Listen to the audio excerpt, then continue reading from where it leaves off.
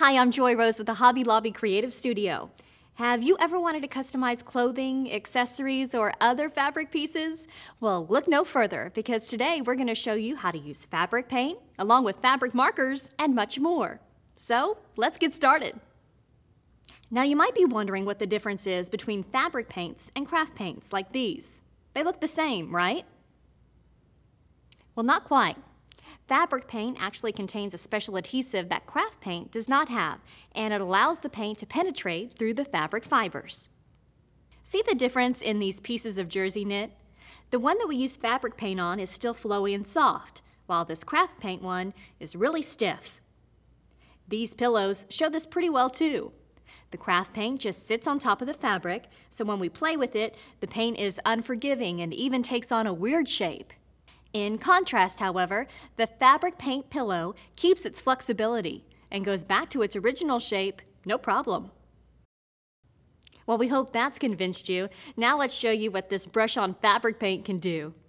You can do freehand designs like we've done with the sun using no more than a paintbrush. Doesn't this sun just make you happy? Stencils are a good way to get extra precision. Plus, you can repeat the exact same shape over and over if you wanted. And how about a wooden or foam stamp?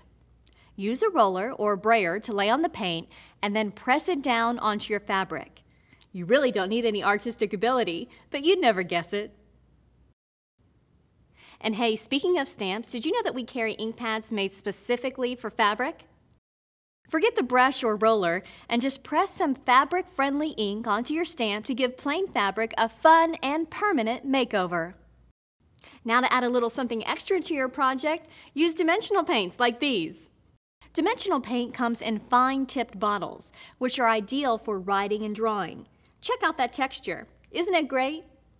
You'll find it in many colors and finishes, including matte, pearl, metallic, sparkle, and even glow in the dark. Talk about the coolest kids' room accessories ever. All right, who's got the lights? Then when you're done using dimensional paints, it's an easy cleanup. Just replace the cap and put them away. while we're speaking of simplicity, it doesn't get much simpler than fabric markers. They work just like regular markers, so if you or the kiddos like to doodle on paper, these will be especially fun. There are broad, fine, and even brush tip fabric markers to play with. We made these trendy shoes with just some of the colors that are available. And like all fabric paint, you can bet these colors won't go fading away. We also like to use fabric markers with rubber stamps. Just draw onto the stamp with your markers and look, the color is so precise. Fabric dyes are another option for transforming plain fabric. We especially like how the dyes make the fabric look like they've always been that color. So let's show you some of the possibilities. You can dye an entire fabric piece one color pretty easily, but that's just the start. Try dip dyeing to get an ombre effect like this. Or use water-soluble tacky glue to draw fun patterns like this before you dye your fabric. When you rinse out the extra dye, the glue will go with it, leaving your design. And then there's the beautiful shibori dyeing, which inspired this deep blue fabric design. If you want to skip the prep of liquid dyes, spray dyes are ready to go straight from the bottle. If you'd like to achieve this unique organic pattern, for example, all you have to do is scrunch and spray. Or keep your fabric laid out flat and spritz it every which way for a splattered look. Want a little more uniformity? Spray on top of shapes like we did for these bucks, and you're left with fun silhouettes. And hey, don't forget about ombre. Spray dyes have you covered there too. The last of the fabric dyes we want to show you is certainly not the least. Tie-dye is still as popular as ever and way easier than it looks. Just check out our tie-dye videos to learn how to make tie-dye patterns like these on clothing, accessories, and more. Now, we've already discussed spray dyes, but did you also know that we had spray paint for fabric as well? That's how we created this tote bag. We used bits of painter's tape to block out the shapes and then sprayed over it with a nice opaque color. We used a stencil instead of tape for our leopard backpack here. The metallic finish is our favorite part. Then there's this one-of-a-kind pillowcase. Just like the kind we did with dye, all you have to do is scrunch and spray.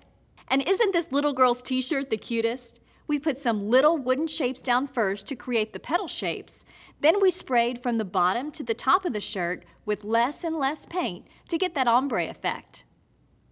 We have one more type of paint we'd like to show you, and it's made for the biggest of fabric painting projects, upholstery. It comes in a handful of colors, and it's so easy to use. All you have to do is spray it on. Look how it's transforming this chair. Go for the darker paint on lighter fabric for the best results. And make sure to use it in a well-ventilated area and follow the precautions listed on the can. Once it's dry, this paint is permanent and won't rub off.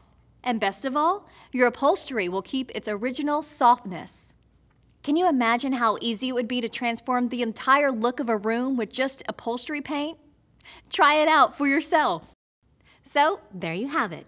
Now it's your turn to go out there and create and customize your very own fabric project. Now for more how-tos and inspirations, be sure to check out our other videos. And we'll see you next time right here at the Hobby Lobby Creative Studio.